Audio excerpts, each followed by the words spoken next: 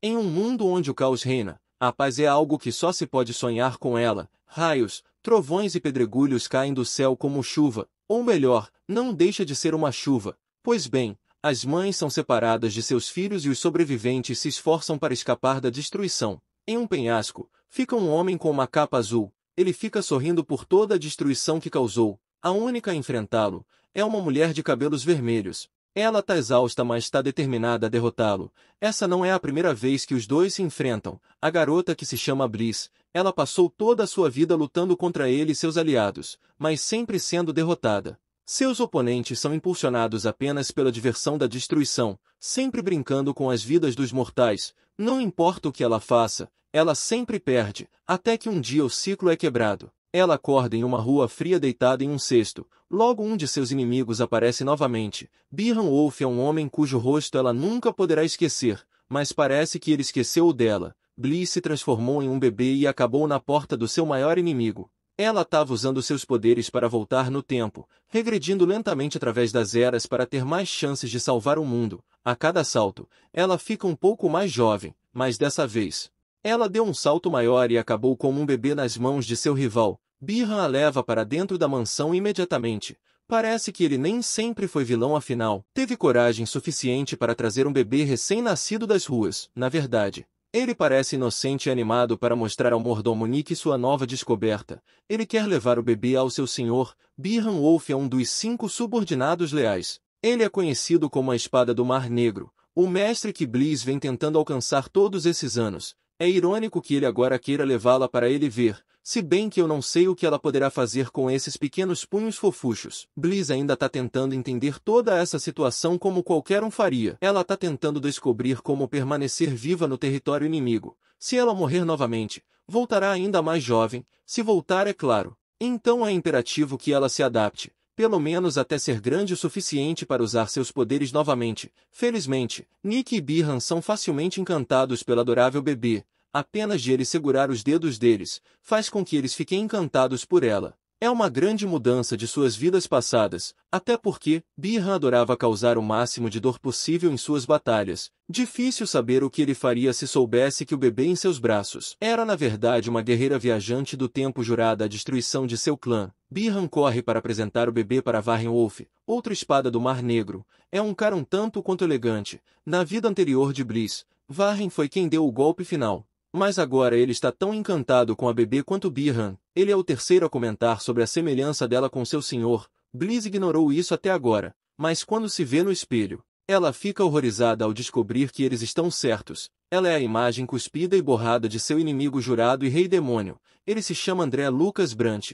Por acaso ele está saindo do banho. Os outros assumem que o bebê deve ser dele. Verdade seja dita. Basta olhar para eles. São idênticos.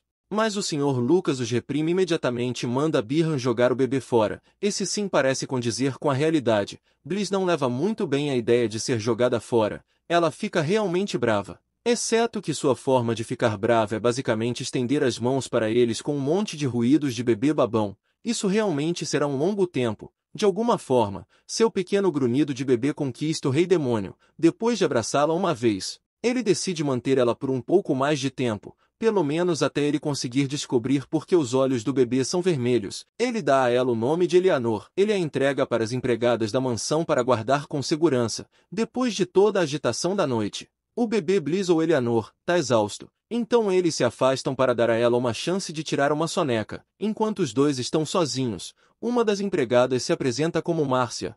Ela deita ao lado dela enquanto dorme, Todas as empregadas parecem muito animadas em ter uma menininha para mimar, especialmente porque ela é a primeira criança a chegar e não ser enviada diretamente para o dormitório, pelas memórias de Bliss. Ela sabe que o dormitório costumava servir como lar para órfãos que eram então treinados para lutar por Lucas como armas humanas, aqueles que não atendiam aos seus padrões.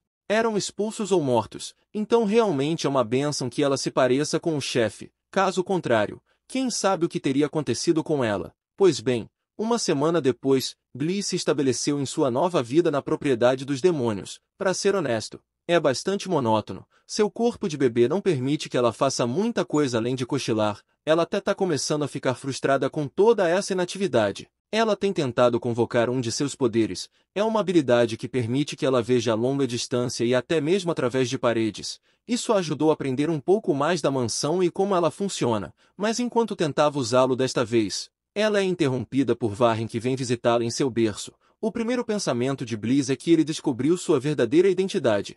Um homem de sua força só precisaria de um dedo para matá-la, então quando ele leva a mão, Bliss tenta convocar seu poder para afastá-lo, mas obviamente ela falha. Quero dizer, ela falha miseravelmente.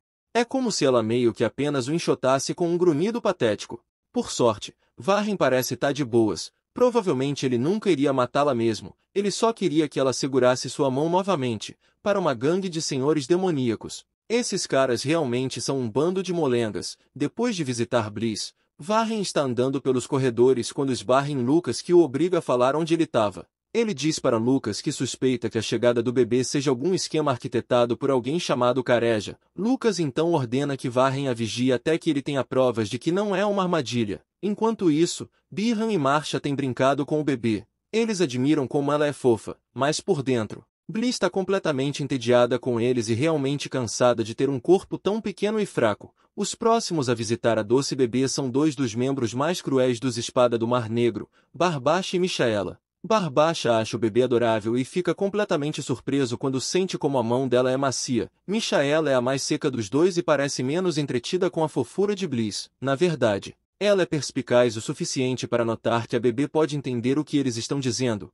Ela está tão impressionada que até considera adotá-la, apesar de sua admiração com a bebê. Michaela também parece suspeitar que ela possa ser uma espiã enviada por essa figura misteriosa chamada Careja. Bliss fica bem chocada ao ouvir que eles já estão em seu caso, mas antes que possam examiná-la mais de perto, outro membro de sua ordem aparece. Castilho é o capitão deles. Ele parece ser o mais calmo e sensato que apareceu até agora, Bliss se lembra que o capitão é um general astuto com uma mente para a guerra. Foi sua inteligência que sempre a impediu de alcançar Lucas em suas vidas passadas.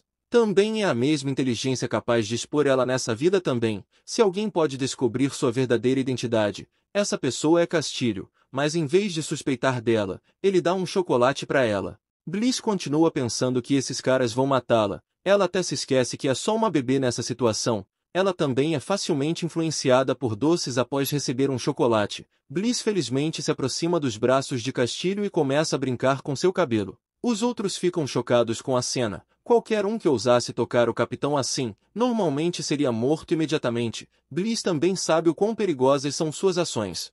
Mas ela não consegue se controlar, essa é a única forma que seu pequeno corpo tem para se comunicar afinal. De repente, Márcia é empregada, corre e tenta impedir Castilho de dar doces a ela. Ela fala que chocolate não é bom para bebês. O bebê então é devolvido para Marcia. Aparentemente, ele também suspeita que Bliss um dia crescerá para prejudicar o chefe deles. Ele adverte Márcia que se isso acontecer, ela também será responsabilizada. A maneira como empregada cuida dela e a protege, faz Bliss se lembrar de tudo que ela perdeu em suas vidas passadas e do quanto ela anseia por um amor materno. Após a visita, parece que o receio de Bliss sobre Castilho foi confirmado.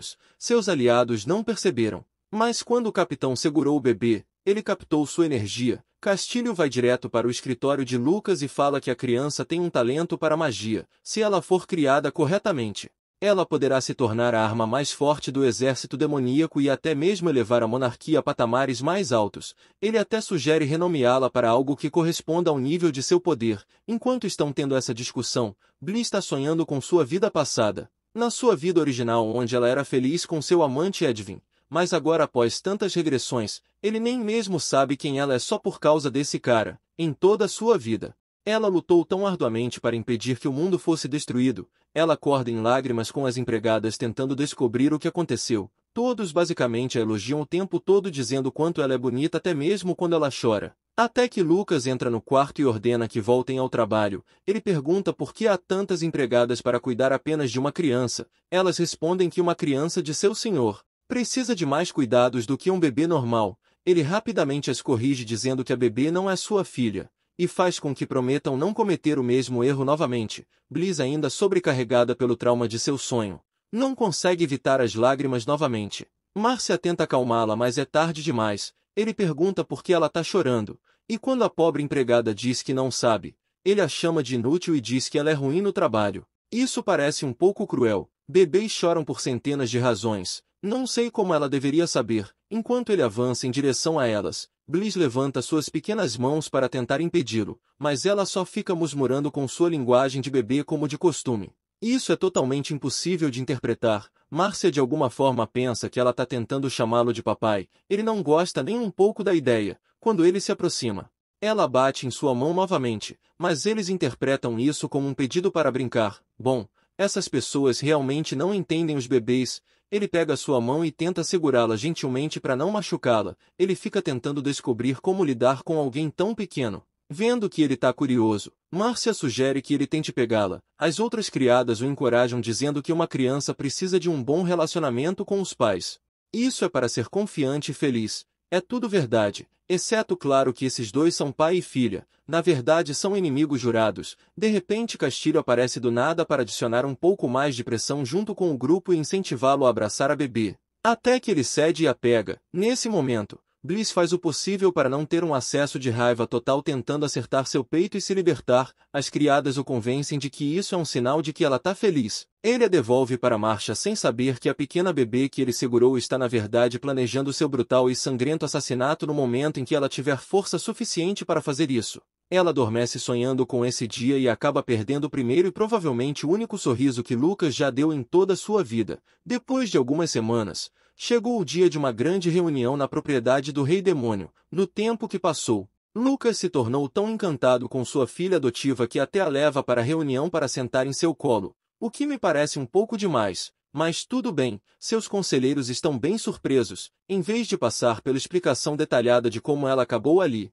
Lucas apenas começou a dizer às pessoas que ela é sua filha. Enquanto isso, a pequena Bliss não está facilitando as coisas para ele, ela continua tentando se libertar mordendo sua mão e se contorcendo em seu colo até que começa a chamar a atenção dos membros do conselho. Warren fala que ela parece estar incomodada, mas o pobre Lucas fica iludido pensando que quanto mais ela se move, é porque mais ela deve amá-lo. Ele está tão encantado com ela que ordena a seus conselheiros que a chamem de Princesa Eleanor dali para diante. Ela está conquistando corações à esquerda e à direita, mas tudo o que ela realmente está fazendo é tentar dizer a todos o quanto os odeia. Parece que a pequena Bliss não pode fazer nada de errado, então por enquanto, parece seguro assumir que eles não vão matá-la. A reunião finalmente começa, dando para Bliss a chance de aprender um pouco sobre a política inimiga, mas a primeira coisa que eles querem discutir é o aniversário da grande princesa Raina. A verdade é que o Lucas é só um dos muitos duques sob o controle do imperador. Raina é a única filha do imperador e pelo que Bliss se lembra,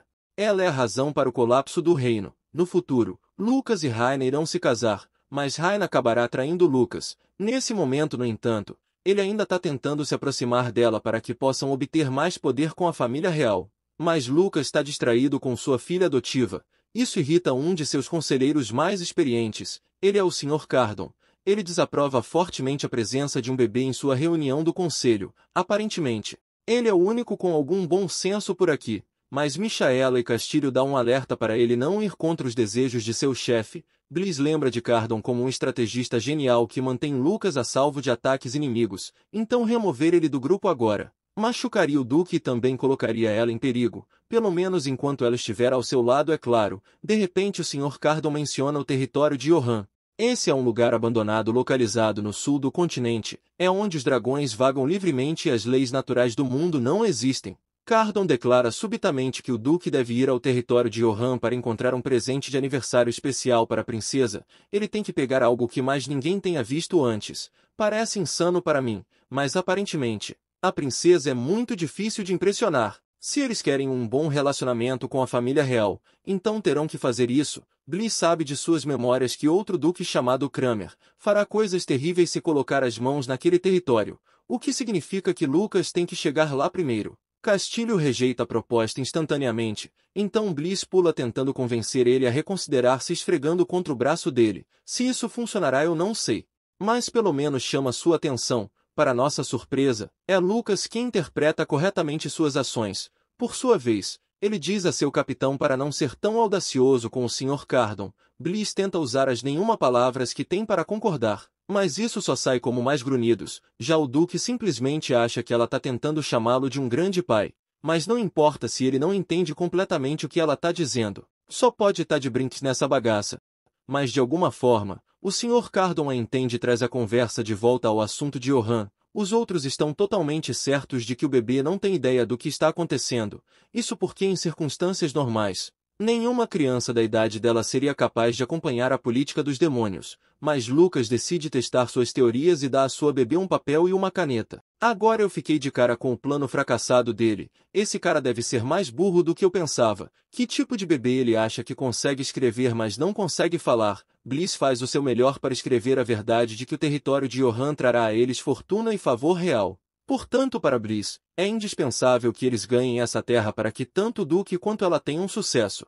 Assim ela consegue escrever algumas letras muito rabiscadas no pergaminho, o que impressiona completamente seu pai adotivo e todos os outros soldados. Eles não têm ideia de como um bebê aprendeu a escrever, muito menos a reconhecer letras. De repente Bliss percebe seu erro, certamente levantará muitas questões perigosas se ela de repente mostrar que é capaz de escrever, então é hora de fazer o que ela faz de melhor, isso mesmo. A bebê Bliss fica simplesmente fofa, eles adoram tanto que usam um feitiço para tirar uma foto. Lucas até ordena que continuem tirando fotos fofas de sua filha sempre que surgir uma oportunidade. Com isso eles até deixaram de lado a questão de ela ser suspeita. Quando eles finalmente voltam ao assunto em questão, Castilho diz que não está convencido só porque a bebê pode escrever, ela continua tentando se comunicar com eles mas não consegue. Então eles convocam Marcha na esperança de que ela possa entender um pouco melhor a princesa, mas a chegada de Marcha não é de grande ajuda, então em vez disso, eles trazem um menino chamado Theo para ver ela, ele se apresenta diretamente a Bliss. Theo é um dos órfãos do dormitório, ele adquiriu uma reputação como líder entre as outras crianças. Bliss se lembra dele também. Quando crescerem, todos os órfãos abandonarão Lucas. Isso claro que não é nenhuma surpresa, considerando que ele literalmente os treina para serem soldados, todos os órfãos exceto Tel. Ele permaneceu leal e protegeu o Duque pessoalmente no campo de batalha. Castilho explica ao menino que o convocaram para ele seguir as ordens da bebê. Não sei como eles esperam que um menino consiga entender um bebê só porque estão mais próximos em idade. Bliss começa a falar livremente. Os outros pedem para Theo interpretar. Ele diz que a princesa está feliz por ter alguém que a entenda, mas isso absolutamente não é o que ela disse. Acho que esse garoto está apenas dizendo qualquer coisa para deixar Lucas feliz. Bliss então faz um comentário sobre o quão estúpidos os outros são. Theo dá um sorriso disfarçado. Talvez ele possa entender ela afinal. Bliss então tenta explicar tudo de uma vez, e para sua total surpresa, ele entende e comunica de volta para os adultos em grande detalhe. Ela percebe que ele deve ter habilidade de comunicação, um talento que o permite conversar com criaturas e seres que não podem falar por si mesmos. Decidindo fazer uso de seu talento, Bliss fala para o garoto que ele deve visitá-la frequentemente. Ela espera torná-lo seu próprio subordinado, Castilho como de costume. Parece ter suspeita no sangue, ele duvida que Theo esteja dizendo a verdade. Lucas também não acredita nele. Em seu discurso a respeito do território de Johan, ele mencionou anões com um grande combate em escala, mas todos os outros no reino.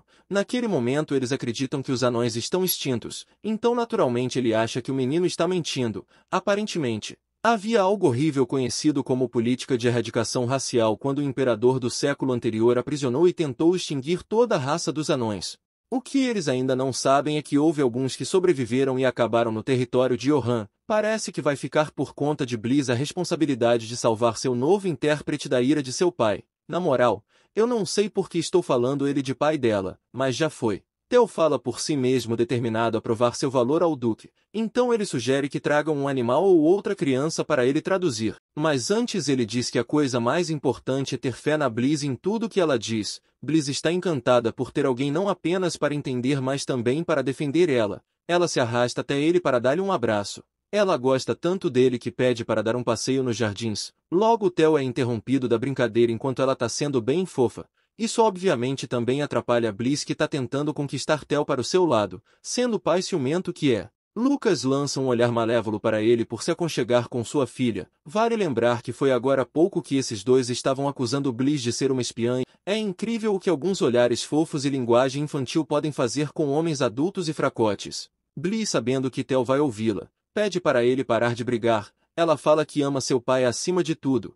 Quando Tel relata isso para o Duque, imediatamente se acende um sinal verde. Como Suela já sabia, isso já está se mostrando uma ótima ferramenta para Bliss, ela não precisará mais agradar a todos para conseguir o que quer, agora ela tem efetivamente um microfone humano. No entanto, Quando Tel também relata que Bliss pediu para dar um passeio com ele, Lucas pensa basicamente que ela o convidou para um encontro. Lucas diz que não nem que seja sobre o cadáver dele. Bliss tenta dizer a ele através de Tel que obviamente não é isso que ela quis dizer, mas acaba sendo inútil. Então ela muda de tática. Se ele não deixar que eles saiam para um passeio, ela jura nunca mais chamá-lo de papai pelo resto da vida. Uma bebê que é fofa é muito bom, mas uma que faz chantagem é mais que bom. O grande duque acaba cedendo ao ouvir o que Tel repassou, então os dois finalmente conseguem um tempo sozinhos. Inicialmente, Bliss agradece a Tel por traduzir e pergunta se ele tá cansado depois de lidar com adultos idiotas. O pobre garoto provavelmente tá chocado por ouvi-la falar assim de alguns dos guerreiros mais elitistas do exército demoníaco, mas não é bem isso,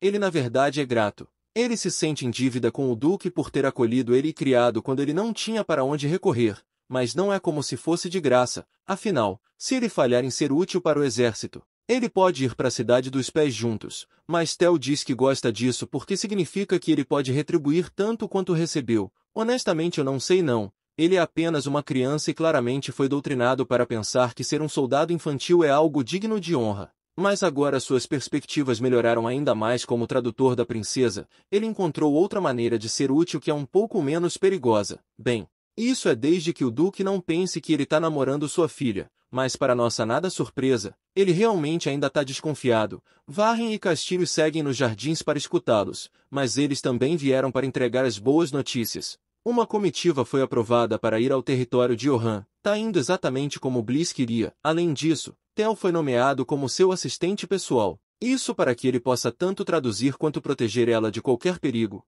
Encantado por ser útil, Tel jura proteger a princesa com sua vida e fazer tudo o que puder para servir tanto a ela quanto a seu chefe. Bem, parece que a situação de todos melhorou significativamente e é tudo graças a Bliss. Alguns dias depois, Tel e Bliss estão no jardim comendo raspas de gelo. Eles já são os melhores amigos embora isso seja porque Bliss quer assim. Ela está determinada a conquistá-lo não importa o que seja necessário. Até agora isso inclui encher ele de qualquer prato que ele goste. Dizem que o caminho para o coração de um homem é através de seu estômago. Afinal, ela até deu a ele um quarto na propriedade bem ao lado do dela. Depois da comida e da roupa miseráveis do orfanato, ele pode se sentir no paraíso. Pois bem, enquanto eles estão conversando, Barbacha corre para se juntar a eles. Ele estava ansioso para dizer oi para Bliss, mas Bliss, que não foi nada gentil, manda dizer para Barbacha sair de sua vista e parar de ser tão intrometida. O pobre Tel tem que traduzir isso para algo um pouco mais educado. Na verdade, Barbacha está a caminho do dormitório porque está encarregado do treinamento de hoje.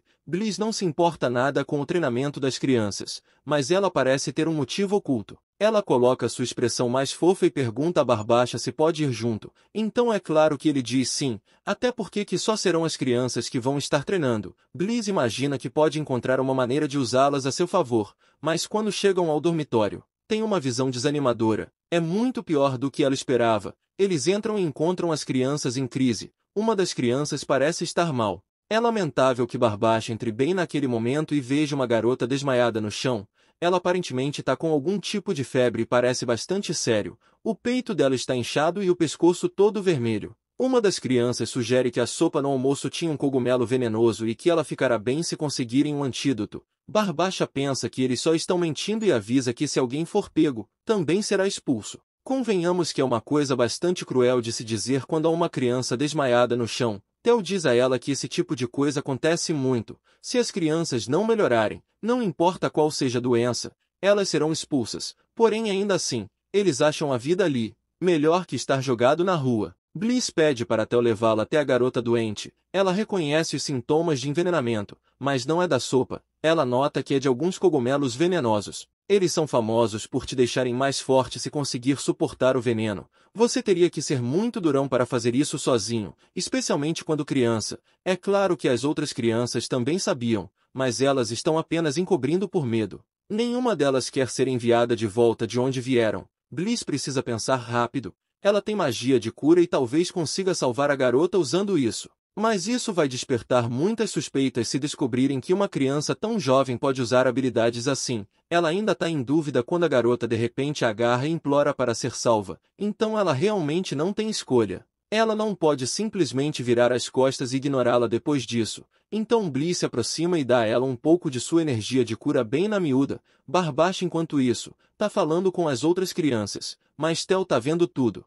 Felizmente ela tem sucesso e a garota fica se sentindo bem, então ela faz com que Tel diga Barbacha em seu nome para não intimidar nenhuma das crianças saudáveis, senão ela contará ao pai dela. É uma jogada ousada considerando que todos viram a criança literalmente sem fôlego no chão agora há pouco, mas essa é a nossa garota Bliss, ela não tem muito poder, mas tem muita coragem. Ela também diz a ele para limpar o dormitório e alimentar as crianças com comida melhor, senão ela não vai mais gostar dele. Você pode pensar que um membro treinado da guarda pessoal do Duque não seria tão facilmente influenciado por uma criança pequena. Mas muitas coisas absurdas aconteceram desde que Bliss apareceu. Na hora de brincar à noite, Bliss está um pouco encucada. Theo a viu literalmente fazer magia em uma criança moribunda. Mas ele não mencionou nada, ela tá meio preocupada que sua lealdade a Lucas irá aumentar e ele contará o que aconteceu. As coisas parecem meio estranhas entre eles. Theo parece prestes a dizer algo quando de repente, Lucas juntamente com Barbacha e Michaela invadem o quarto dela. Lucas está furioso que Theo a levou ao dormitório. Isso parece bem injusto. Não é exatamente o tipo de lugar para levar uma criança mas que foi construído para crianças. Porém Lucas também tá bravo com Tel por não impedi-la, seu papel é unicamente de cuidar dela. No entanto, ele a levou para um lugar perigoso. O menino se desculpa imediatamente. Nessa hora, parece que Lucas está determinado a punir o garoto inocente. Então mais uma vez, Bliss tem que intervir. Ela comanda Tel para repetir exatamente suas palavras. Então ele diz ao seu chefe que Bliss ficou muito satisfeita com o dormitório e quer visitar mais vezes. Claro que isso é o oposto do que ela disse para Barbacha.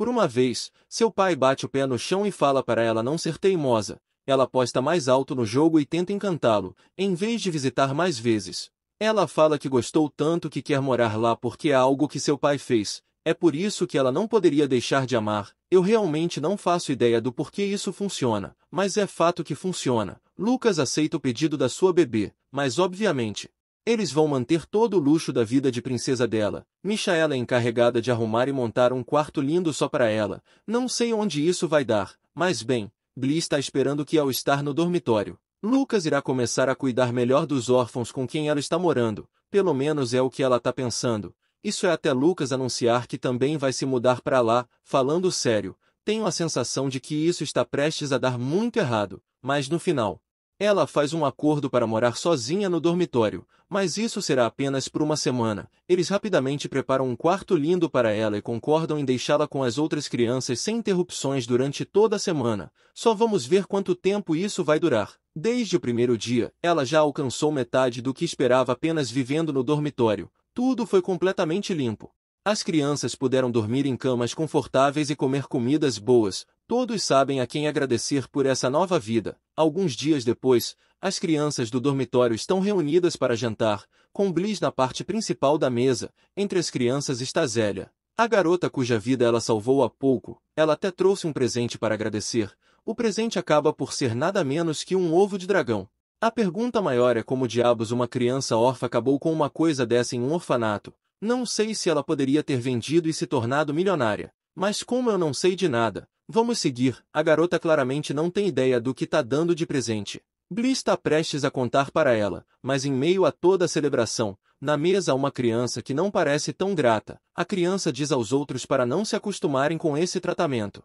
Até porque, isso só vai durar enquanto a bebê estiver ali, e o fato é que ela estará fora em uma semana. Na verdade ele até tem um ponto, mas não precisa ser tão mal-humorado. O nome da criança é Alex, ele é de uma família nobre que caiu em ruína. Deve ser por isso que não é tão fácil impressioná-lo. As outras crianças tentam calar ele. Mesmo que Bliss não se importe com isso, ela apenas diz para todos ignorá-lo e aproveitar a comida.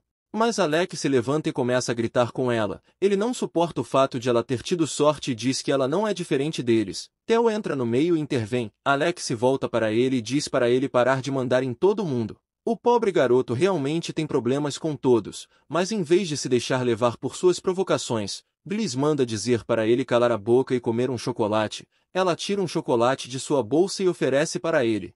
Alex, que está muito mal-humorado para aceitar, apenas sai bufando. Eu tenho certeza que essa não será a última vez que o veremos. Mas enquanto isso, Lucas tem revisado repetidamente os escritos de sua filha. Parece que ele só sente falta dela, mas algo incomoda. Então ele chama Castilho para fazer uma consulta. Quando ele aparece, só dá para descrever ele como tio Patinhas. Sério, ele tá com uma camisola coberta de pintinhos. Pois bem, Lucas mostra o papel para Castilho, que fica bastante chocado. A caligrafia dela melhorou muito desde a última vez que ela escreveu. Ela fez um inventário completo das coisas no dormitório que precisavam ser consertadas, como gerente-chefe do dormitório. Eles pediram a Castilho uma atualização de como a situação está evoluindo. Ele fica feliz em relatar que as crianças estão realmente muito mais produtivas atualmente. Quem diria que se você tratar as pessoas bem, fazem elas realmente trabalhar melhor? Eu sempre achei que seria o contrário, deixando a ironia de lado, já de volta ao dormitório. Theo parece ter se sentido negligenciado depois que a princesa ofereceu chocolates e comida para todos os outros órfãos, para garantir que ele se sinta valorizado. Bliss oferece uma caixa inteira de chocolates para ele. Ela agradece a seu assistente por todo o trabalho árduo. Ela promete continuar o mimando com tudo que puder. Ela fala para ele ficar ao seu lado até que ela possa dar coisas melhores. Isso tá com aroma de suborno, mas ele merece. Com certeza ele tem dificuldades para tentar traduzir os comentários rudes dela para algo que não o faça levar uma surra.